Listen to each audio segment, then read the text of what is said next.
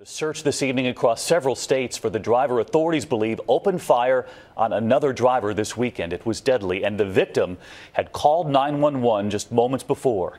Here's ABC's Susan Saulny.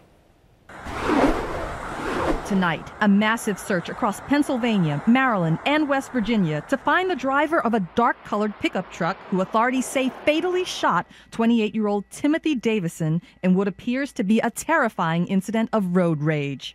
It began along a stretch of I 81 near the border between Maryland and Pennsylvania just after 2 a.m. on Saturday. Davison was driving north back home to Poland, Maine after visiting family over the holidays. He called 911 in distress, saying a Ford Ranger style truck was following him. What happened next is chilling. Operators listened as Davison, helpless at the wheel, said someone in the truck was firing shots. He then rammed his vehicle into the victim's vehicle, causing it to spin out of control and become disabled in the median. Police say the suspect got out of his truck, approached Davison, and fired several rounds into his vehicle.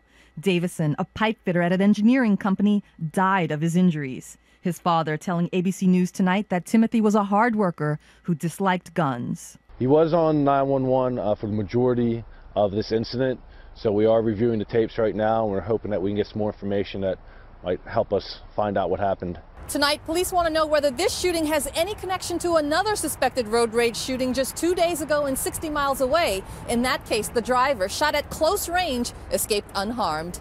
David? Susan Saulny tonight. Susan, thank you.